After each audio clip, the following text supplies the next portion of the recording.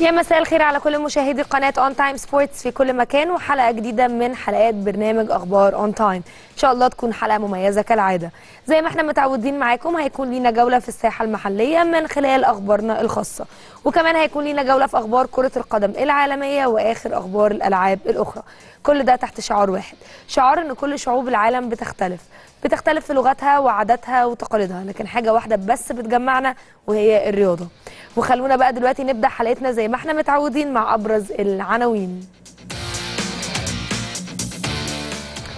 اليوم الأهلي في اختبار صعب أمام الجونة لاعتلاء صدارة دوري نايل.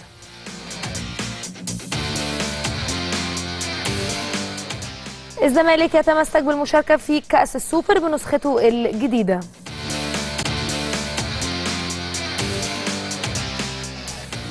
بعثة منتخب الشباب تطير إلى تونس للمشاركة ببطولة شمال أفريقيا.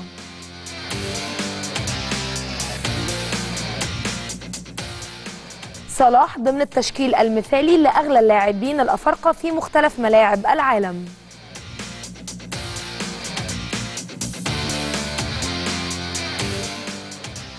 من العناوين نروح بقى لأخبار كرة القدم والبداية مع أخبار الدوري المحلي.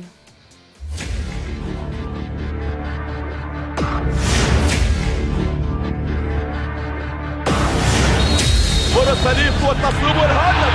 جول وعطية للسلام والهدف. مش ممكن يصدها يتألق يتألق عطية الساحرة ولكن الاستلام يا سيدة. الاستلام هو كل الجمال. هو هو هو. شماله يا ولد مميز مميز لسه بقول لحضراتكم مميز التعادل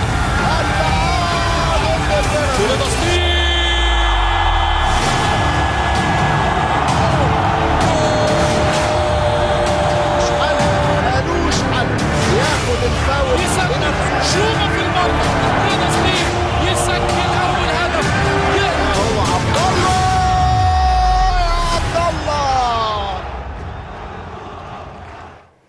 النهارده الاهلي هيحل ضيفا على الجونة في تمام الخامسة مساء على استاد خالد بشارة بالجونة ومفروض إن اللقاء ده لقاء مؤجل من الجولة الرابعة لمسابقة دوري نايل.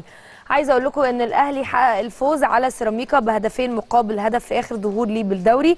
فيما فاز كمان الجونة على الداخلية بهدفين دون رد في آخر ظهور بالمسابقة. يحتل الأهلي المركز الثاني بجدول ترتيب الدوري برصيد 12 نقطة. بعد طبعا ما لعب أربع مباريات حقق الفوز فيهم سجل لعيبة الأهلي 11 هدف تلقت شباك الأهلي ثلاث أهداف. وما زال لديهم مباراتين مؤجلتين. فيما بعد بيحتل الجونة المركز العاشر برصيد 8 نقاط. بعد ما لعب خمس لقاءات فاز في مباراتين اتعادل في مثلهم. خسر الجونة لقاء وحيد وسجل لعيبته ست أهداف وتلقت شباكه أربع أهداف. أكيد بيتطلع المارد الأحمر للفوز الليلة من أجل الصعود إلى طبعا آه، قمة الدوري. علشان كده آه، يبقى إيه أول الدوري؟ وأكيد قمة الدوري دلوقتي بيحتلها فريق بيراميدز بفرق نقطة واحدة. وحصد كمان الأهلي أربع انتصارات بالدوري على حساب المصري بعد كده الإسماعيلي وآخر الفوز كان المقاولين العرب وبعديه كمان سيراميكا كليوباترا. بينما اتأجلت ليه مباراتين أمام الجونة وبلدية المحلة. بيامل أكيد الأهلي بقيادة مدربه السويسري مارسيل كولر تحقيق الفوز على الجونة علشان يقدر إن هو يواصل الانتصارات ويقدر إن هو يحافظ على العلامة الكاملة ثم بقى يقترب من صدارة الدوري لمصالحة الجماهير. طبعا الأهلي عايز يصالح الجماهير بعد ما خسر الفريق بطولتين في بداية الموسم سواء السوبر الإفريقي أو الدوري الإفريقي. بيفتقد الأهلي جهود مهاجمه كهربا للإيقاف والمغربي رضا سليم وعلي معلول للإصابة. بينما بيعتمد على قدرات بعض اللاعبين خاصة إمام عاشور بيرسي تاو وحسين الشحات مروان عطية. في المقابل بقى بيسعى كابتن علاء عبد العال مدير الفني للجونه لتحقيق نتيجة إيجابية لمواصلة الزحف نحو المربع الذهبي بجدول ترتيب المسابقة. بيعتمد كابتن علاء عبد العال بنجومية طبعا المتألقين في فريقه أمثال أحمد بالحج وصبري رحيل وكمان آه آه كمان أرنولد. أعلنت لجنة الحكام إسناد إدارة مباراة الأهلي والجونة للحكم محمد يوسف ويعاونه كل من هاني عبد الفتاح أسامة عبد اللطيف محمود ناصف حكم رابع بينما على تقنية الفار مصطفى مدحت ويعاونه محمد عباس.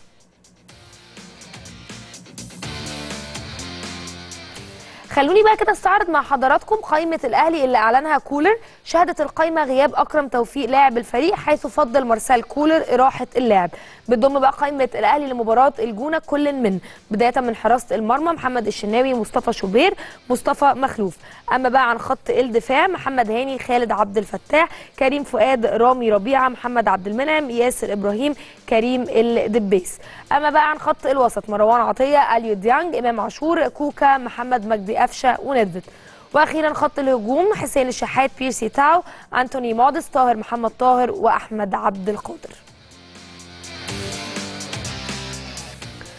ومن أخبار بقى الأهلي هنروح لأخبار الزمالك. وتحديدا مع فريق الزمالك حيث بيتمسك مسؤولو نادي الزمالك بالمشاركة في بطولة كأس السوبر المصري للأندية الأبطال طبعا بنسخته الجديدة.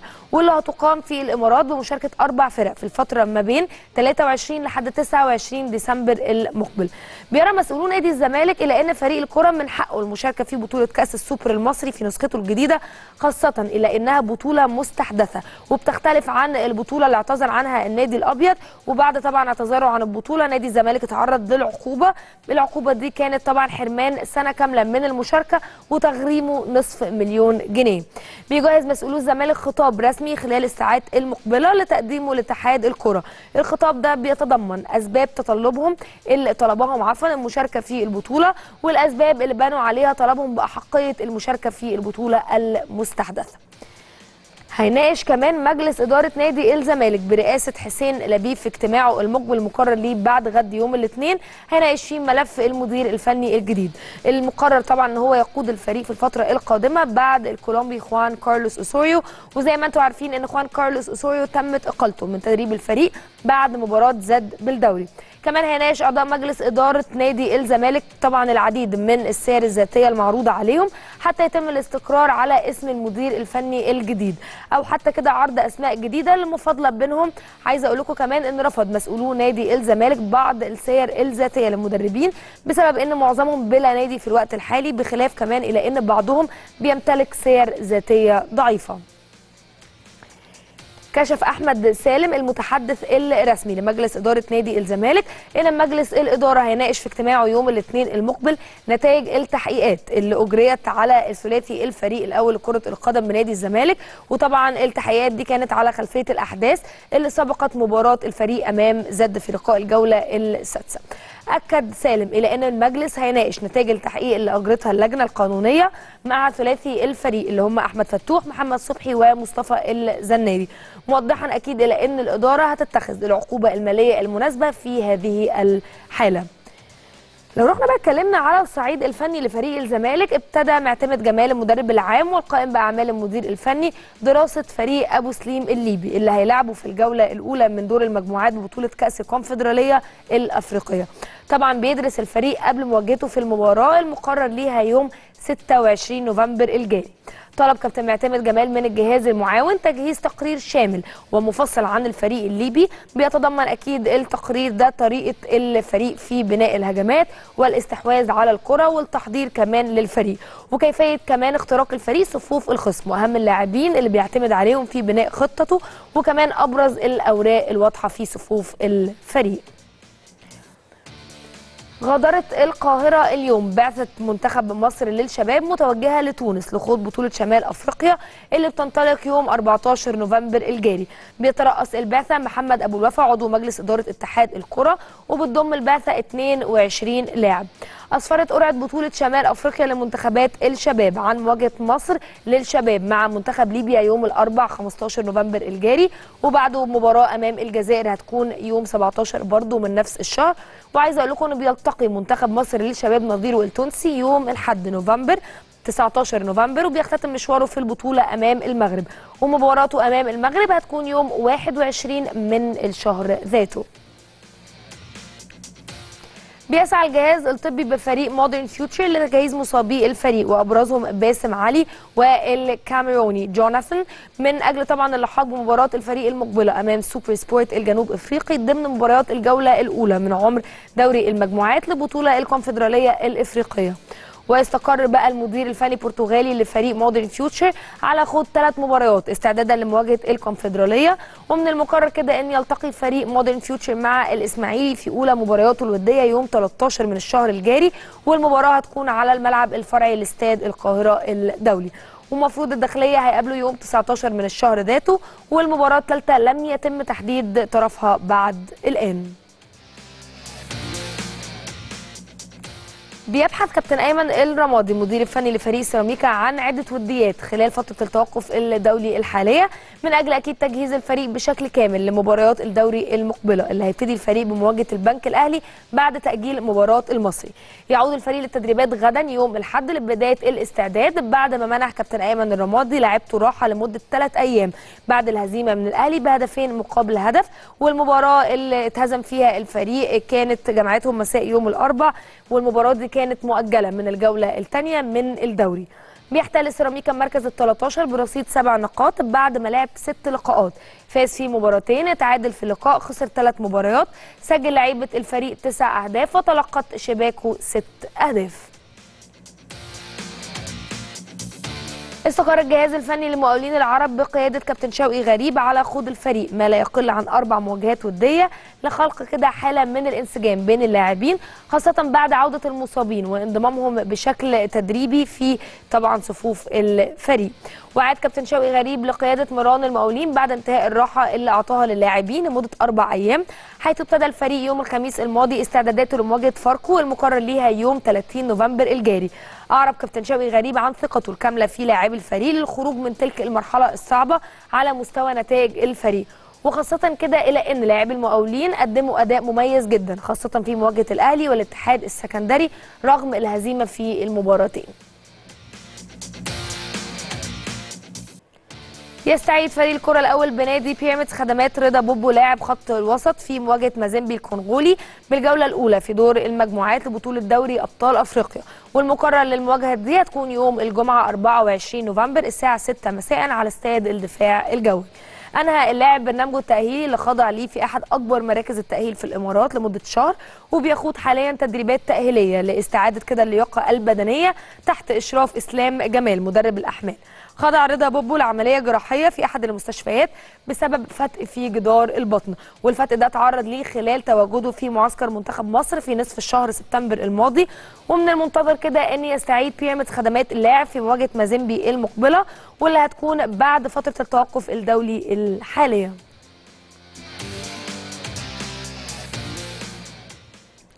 من أخبار بقى الدوري الممتاز نروح لأخبار الدوري الممتاز ب. وقرر الجهاز الفني لنادي أسوان بقيادة كابتن هشام زكريا نهاية استعارة جابر السالم من بتروجيت وعلي خليل من الجونة بالتراضي بين الطرفين وعدم تفعيل تعاقد النيجيري. أموس وعودة كمان ثلاث ناشئين في مواليد 2003 إلى فريق الشباب. وبيستعد أسوان لمواجهة مكادي في الجولة الثامنه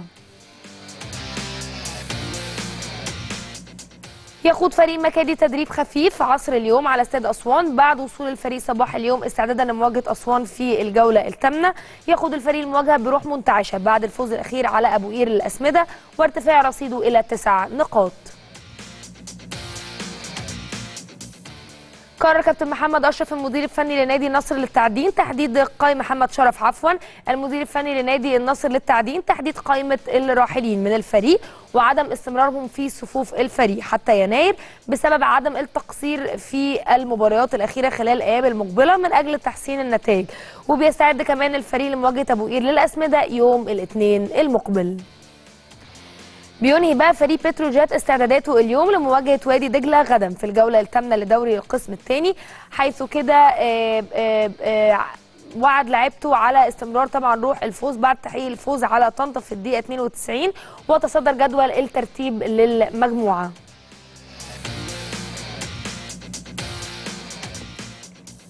خلونا دلوقتي نطلع لفاصل ونرجع نكمل باقي فقراتنا في أخبار اون تايم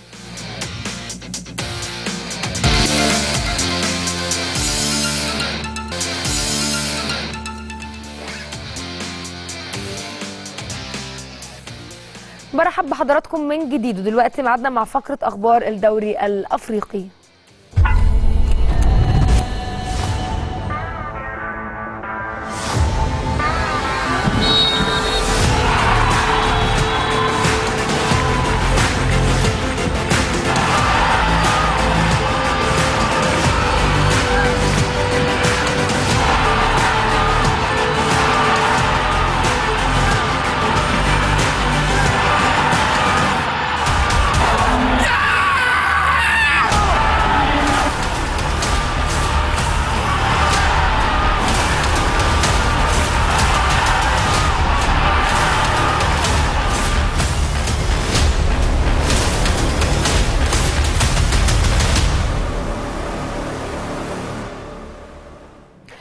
من الوداد المغربي واللي بيقوده فنيا كابتن عادل رمزي واللي استقر على الاعتماد على اللاعب أسامة محروس علشان كده يعوض غياب قائد الفريق يحيى جبران. لاعب خط وسط الفريق في مواجهة طبعا الإياب ضد الصن داونز ضد الصن داونز اللي هتنطلق بكرة الساعة 3 عصرا. طبعا يحيى جبران واحد من أهم وأبرز لاعبي الوداد لكنه حصل على إنذار في مباراة الذهاب وده الإنذار الثاني ليه في البطولة عشان كده اتوقف ومش هيشارك في مباراة الإياب. وحسب بقى التقارير المغربية فإن عادل رمزي مدرب الوداد كان بيفاضل بين اللاعب أنس السرجات وأسامة محروس لكن بي يبدو إن محروس هو اللي هياخد ثقة مدرب الوداد في التشكيل الأساسي في مواجهة سان داونز نروح كمان لفريق سان داونز واللي ما اكتفاش بدخول الجماهير مجانا للقاء الإياب ضد الوداد المغربي. أعلنت إدارة الفريق الجنوب أفريقي إقامة حفل فني كبير جدا قبل انطلاق المباراة وكتب كده نادي سان داونز في إعلانه عن الحفل. سيكون هذا الأحد يوم لا ينسى. سيتواجد معنا عدد من الفنانين الجاهزين لاشعال اجواء الملعب بادائهم الفني الرائع. هيا يا جمهور سان داونز احضروا إلى الملعب لتصنع معا تلك اللحظات التي لن تنسى. طبعا نادي سان داونز مش أول مرة يستخدم نفس الأسلوب علشان يحفز جمهوره على الحضور إلى الملعب. أكيد عاوز طبعا يستغل عامل الأرض والجمهور واللعب الساعة 3 العصر عشان يحسم أول لقب ليه في بطولة الدوري الأفريقي.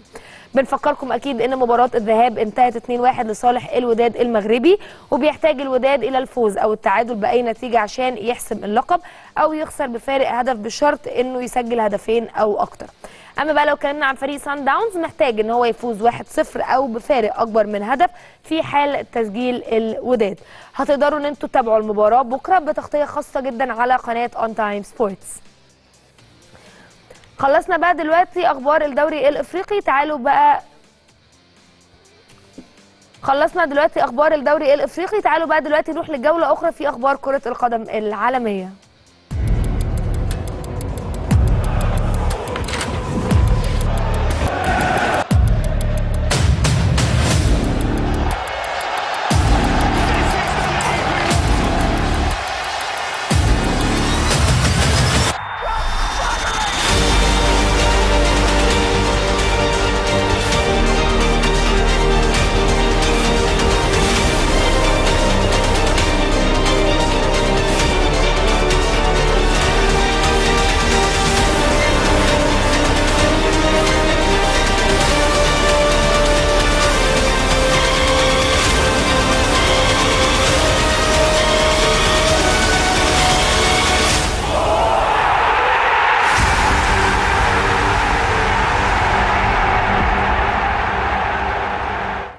نبتدي بقى فقرتنا العالمية باستعراض أهم مباريات اليوم من الدوريات العالمية ونبتدي من مباريات اليوم في الدوري الإنجليزي والجولة ال 12 وولفرهامبتون أمام توتنهام الساعة 2:30 أرسنال أمام بيرنلي كريستال بالاس أمام إيفرتون مانشستر يونايتد أمام لوتون تاون كل الثلاث مباريات دول الساعة 5 وآخر مباراة بورنموث أمام نيوكاسل المباراة الساعة 7:30 نروح بقى لمباريات الدوري الإسباني والجولة ال 13 رايو فاييكانو أمام جيرونا المباراة الساعة 3 ألميريا أمام ريال سوسيداد الساعة 5 وربع. أوساسونا أمام لاس بالماس وغرناطة أمام ختافي الساعة 7 ونص.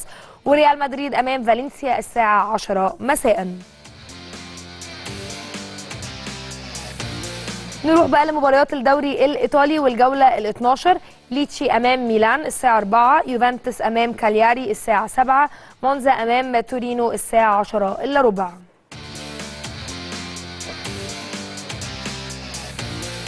نروح لمباريات الدوري الألماني والجولة ال 11 بايرن ميونخ أمام هايدنهايم الساعة 4:30 أوجسبورج أمام هوفنهايم شتوتجارد أمام بروسيا دورتموند وكمان دارمشتات أمام ماينز. كل المباريات دي 4:30 وآخر مباراة هتكون بخوم أمام كولن الساعة 7:30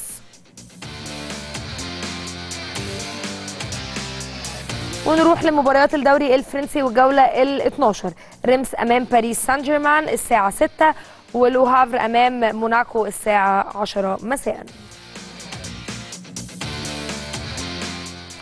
هنبدأ بقى الأخبار العالمية من النجم الأرجنتيني ميسي اللي شكر مشجعي إنتر ميامي على دعمهم وخلوه كده يحس إن هو في بلده. طبعا الشكر اللي وجهه ميسي لكل سكان ميامي كان بمناسبة حفل تكريم خاص جدا تم تنظيمه من النادي للاعب الأسطورة الأرجنتيني الفائز بجائزه الكرة الذهبية للمرة الثامنة والحفل كمان اتعمل قبل مباراة استعراضية ضد نيويورك سيتي. تعالوا نروح نشوف ميسي قال إيه. قبل كل شيء. أردت أن أشكركم على وجودكم هنا وعلى هذا التكريم الجميل. بالنسبة لي أنا سعيد للغاية بسبب مشاركة هذا الأمر معكم. أود أن أشكر جميع الناس في ميامي. ليس فقط أولئك الموجودين هنا في الملعب ولكن أشكر كل المدينة على الطريقة التي عملتني بها أنا وعائلتي منذ تواجدي هنا. لقد أظهرتم لي الكثير من الحب وجعلتموني أشعر وكأنني في بيتي. المدينة هنا يسكنها الكثير من اللاتينيين. وهذا جعلني أشعر بالراحة وسارت الأمور بشكل جيد حقا. لذا شكرا جزيلا لكم. لم نكن معا لفترة طويلة لكننا حققنا بالفعل شيئا مهما للغاية وهو أول لقب لنادينا ولم يكن لدي أي شك في أن الأمور ستسير على ما يرام وأننا سنستمتع بالأمر. والآن ليس لدي أدنى شك أن العام المقبل سيكون أفضل وسنواصل الاستمتاع بكرة القدم. وسنسعى للحصول على ألقاب جديدة. نحن حقا بحاجة إلى دعمكم يا رفاق ومن المدهش أن تكونوا قريبين منا. لذا فإن العام المقبل سيشهد تحقيق أشياء مهمة وسنفعل ذلك معا. شكرا جزيلا لكم جميعا. نروح كمان لريال مدريد الإسباني ومدربه الإيطالي كارلو أنشيلوتي اللي اتكلم قبل استضافة فريقه لفالنسيا في الدوري الإسباني النهارده يوم السبت والمباراة كانت في قمة مباريات الجولة ال 13 أكد على جاهزية بيلينغهام نجم الفريق الملكي وكمان بعت رسالة كده للجمهور بتاع فالنسيا خاصة إلى إن حصل مشكلة بينهم وبين فينيسيوس جونيور جناح فريق الريال. تعالوا نروح نشوف أنشيلوتي قال إيه ونرجع نكمل باقي كلامنا في أخبار اون تايم بيلينغهام. يقول إنه يشعر بالراحة لقد تدرب بشكل طبيعي وهو حاليا متاح وإذا لم يحدث أي شيء غريب خلال الساعات القليلة المقبلة فسوف يلعب المباراة يجب على مشجعي فالنسيا الذين يأتون إلى هنا أن يكونوا هادئين للغاية ويستمتعون بالمباراة أنا مقتنع بأنها ستكون مباراة جميلة لأن الفريقين يلعبان كرة قدم جيدة جدا وستكون المواجهة قوية للغاية ولن تكون هناك مشكلة مع الجماهير. أردا جولر تعرض للإصابة للمرة الثالثة ومن الصعب دائما البقاء بعيدا عن مقر تدريب الفريق. اللاعب يمر بفترة صعبة لأنه يرى زملائه في الفريق يتدربون ويشاركون في المباريات وهو لا يلعب.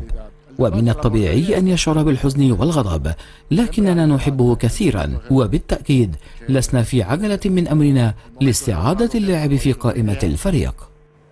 نروح كمان لفريق بايرن ميونخ وتحديدا مدربه توماس توخل اللي حذر من مواجهة هايدنهايم في الجولة ال11 من الدوري الألماني وقال إن هو مضطر يغير في تشكيل الفريق خاصة بعد المواجهات الصعبة اللي خضعوها في الفترة الأخيرة ولازم يحافظ على اللاعبين لكن في نفس الوقت مش هيغير التشكيل كله ولازم كده يواجه الأمور بذكاء تعالوا نروح نشوف تصريحات مدرب بايرن ميونخ ونرجع نكمل باقي كلامنا sehr fleißig. هايدنهايم فريق جيد جدا ولاعبوه يركضون كثيرا وستكون المواجهة ضدهم صعبة خاصة أننا بذلنا جهدا كبيرا في آخر اللقاءين وها نحن أمام مباراة. ستتطلب الكثير من القوة الذهنية أيضا بالرغم من كونها مباراة نحن فيها الفريق المرشح للفوز.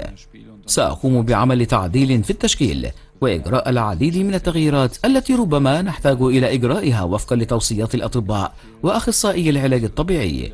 لدينا الرغبة في الحصول على طاقة جديدة بعد مباريتين صعبتين وكان الضغط كبيرا في هاتين المباريتين الكبيرتين بعد خروجنا المؤسف من الكأس وسيكون من الجيد أن يكون لدينا لاعبين جدد في الملعب.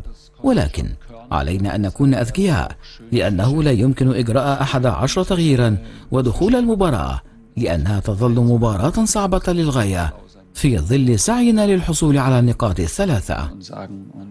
نروح بقى ليوفنتوس وطلب ألاجري مدرب يوفنتوس لاعبته بضرورة الفوز على كالياري في الجولة ال 12 من الدوري الإيطالي وحذر مدرب اليوفي لاعبته من الفريق طبعا المنافس. عند طبعا الفريق المنافس عنده مدرب صاحب خبرات كبيرة جدا ومهاجمين قادرين على تهديد دفاعات يوفنتوس. تعالوا نروح نشوف تصريحات di مواجهة كالياري هي المباراة الأكثر أهمية لأن المنافس فاز في مبارياته الأخيرة. لذلك فهو فريق قوي وخطير للغاية ومدربه كلاوديو رانييري مدير فني كبير ومحنك. كما أنهم يملكون لاعبين في خط الهجوم يتمتعون بالسرعة واللياقة البدنية العالية. لذلك أرى أنها مباراة صعبة تنتظرنا وعلينا التحلي بالصبر والتعامل معها بذكاء. أرى أن المباراة أمام كالياري صعبة ليس لأننا نواجه فريق يشبه إنتر أو الحصول على أيام راحة أكثر. لكنه فريق حقق نتائج جيدة في الفترة الأخيرة ويمكن أن تؤثر على تركيزنا. وأنا أخبرت اللاعبين بالفعل أن المباراة مهمة للغاية ويجب أن نلعبها بهدوء وتواضع واحترام أمام فريق يقدم أداء جيدا بشكل لافت للنظر. نروح كمان للدوري الأمريكي ونجاح فريق سياتل ساوندرز في حسم التأهل للدور نصف النهائي للقسم الغربي بعد فوزه على اف سي دالاس بنتيجة 1-0 وأحرز كمان ألبرت روزناك هدف سياتل ساوندرز الوحيد في الدقيقة 36 من زمن الشوط الأول. طبعا فريق سياتل حقق انتصارين على دالاس مقابل فوز وحيد لفريق دالاس ومعروفة إنه في الدوري الأمريكي بيلعب الفريقين في الأدوار الإقصائية ثلاث مباريات واللي يحسم مباراتين منهم بيتأهل للدور اللي بعد كده. وبعد بقى الفوز ده هيستضيف سياتل نظيره لوس أنجلس أف سي في نصف نهائي القسم الغربي.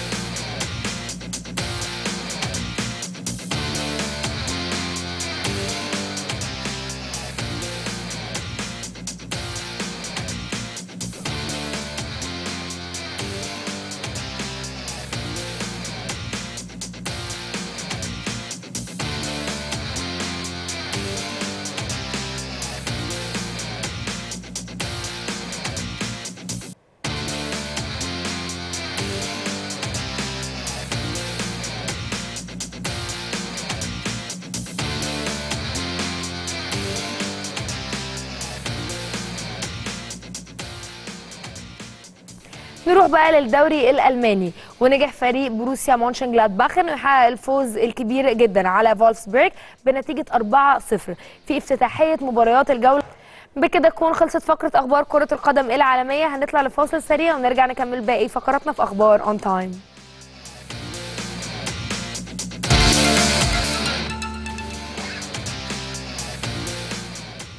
برحب بكل مشاهدينا من جديد ودلوقتي معادنا مع فقرة الألعاب الأخرى.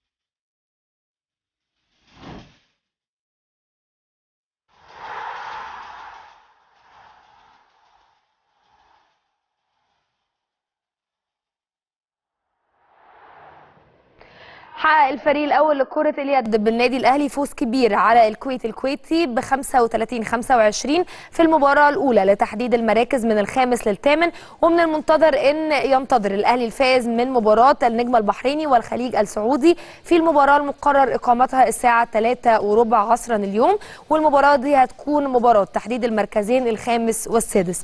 أنهى الأهلي الشوط الأول متقدما على الفريق الكويتي بنتيجة 16 12 وجه فوز الأهلي بعد تألق عدد كبير جدا من لعيبته خاصة إبراهيم المصري أحمد خيري محسن رمضان وأحمد هشام سيسه وعبد الرحمن فيصل. وكمان ابتدى كده الأهلي مشواره في البطولة بالفوز على النور السعودي بنتيجة 38 20 قبل ما يخسر أمام برشلونة الأسباني بنتيجة 37 26 ومباراة برشلونة كانت المباراة الثانية لينافس بيها بعد كده على المركز المراكز من الخامس للثامن.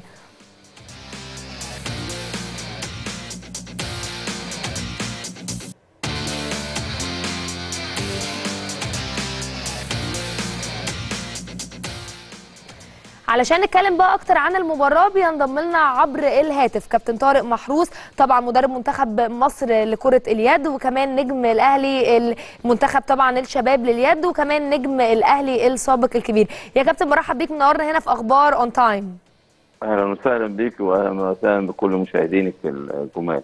لازم بقى في البداية كده أسألك عن رأيك إيه في فوز الأهلي النهارده أمام الكويت الكويتي؟ لا هو الحمد لله طبعا ببارك للنادي الأهلي جمهور ولاعيبه وجهاز فني على الأداء النهارده. الأداء النهارده كان الفرقة على قد المسؤولية. آه طبعا خدوا الماتش باهتمام لأن دي بطولة عالم.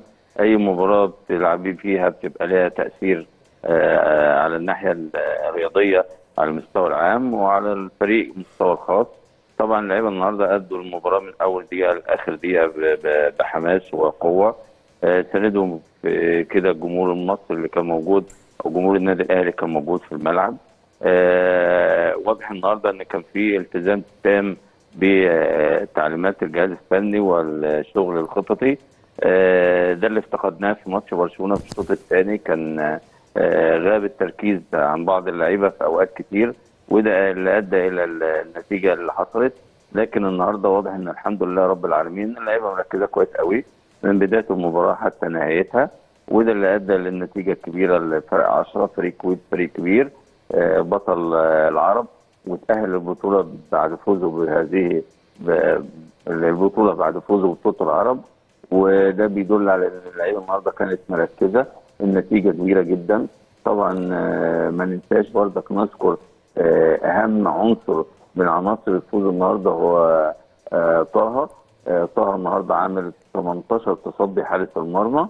ال 18 تصدي دول طبعا كان لهم تأثير على أداء الفريق طوال المباراة. وتقريبا هو اعتقد برضك إن هو خد man of the match وطالما أنت فريق كبير يبقى لازم يكون عندك حارس كبير. وطه من الحراس الكبار مع طبعا محمد إبراهيم. ونتمنى برضك رجوع حميد للفريق. كل ده بيدي بيدي قوة للفريق.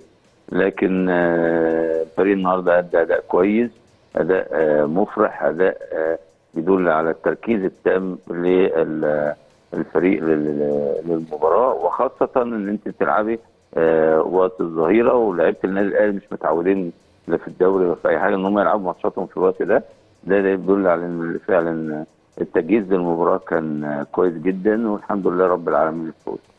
يا كابتن طارق في المفروض النهارده كده مباراة النجم البحريني والخليج السعودي والفائز منهم هيلاعب الأهلي.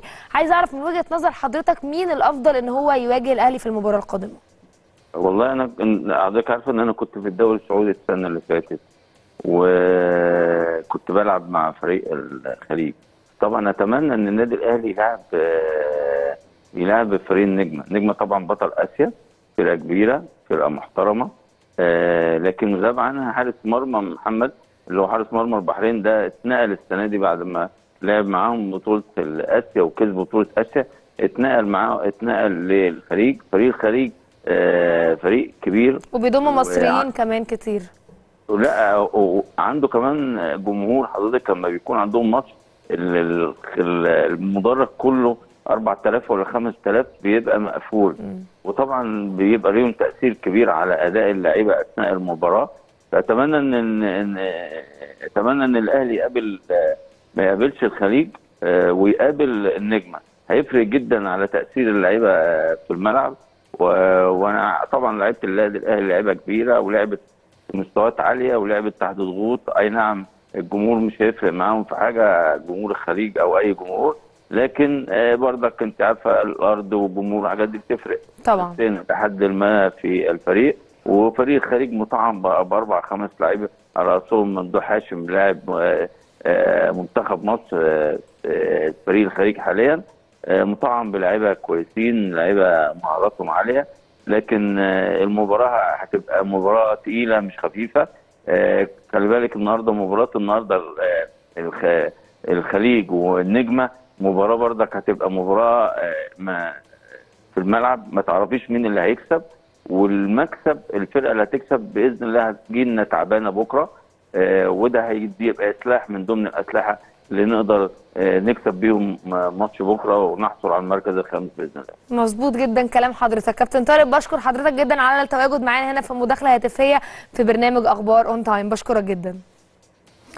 نكمل بقى أخبار الألعاب الأخرى وبيلتقي الساعة 8 من مساء اليوم فريق الزمالك والأهلي في الجولة السابعة من بطولة دوري سيدات اليد على الصالة المغطاة بالزمالك. وكان سيدات الزمالك فازوا على البنك الأهلي بنتيجة 40 19 في إطار الجولة السادسة من الدوري الأول لمسابقه الدوري الممتاز اللي أقيمت أمس يوم الجمعة. كمان بقى حقق سيدات الأهلي الفوز على آه، 6 أكتوبر بنتيجة 33 21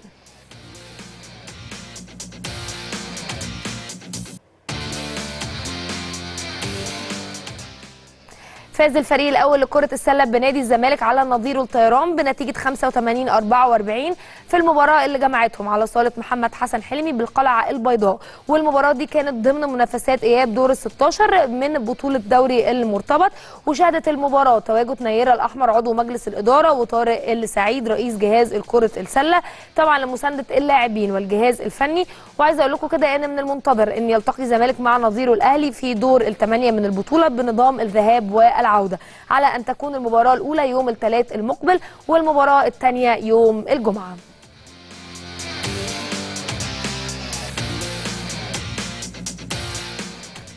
نجح الفريق الأول لكرة السلة بنادي الاتحاد السكندري في التأهل إلى دور ربع النهائي من بطولة دوري المرتبط للرجال بعد تكرار الفوز على الشمس في الدور ثمن النهائي من البطولة. وحقق الاتحاد السكندري الفوز على الشمس بنتيجة 94 78 ومن المقرر إن يلاقي الاتحاد السكندري في ربع نهائي البطولة الفائز من مباراة طلائع الجيش والجزيرة. بتنطلق بقى اليوم فعاليات بطولة العالم للكرة الطايرة البارالمبية واللي بتستمر حتى يوم 18 نوفمبر الجاري. ودي تحت رعاية الدكتور مصطفى مدبولي رئيس مجلس الوزراء على ملعب الصالات المغطاة بنادي النادي بالعاصمة الإدارية. والبطولة فيها مشاركة ل 24 منتخب يمثلون 19 دولة. وتعد البطولة آخر مرحلة للتأهل إلى دورة الألعاب الأولمبية باريس 2024 بكده تكون خلصت فقرة أخبار الألعاب الأخرى. خلونا نطلع لفاصل سريع ونرجع نكمل باقي حلقتنا في أخبار ON Time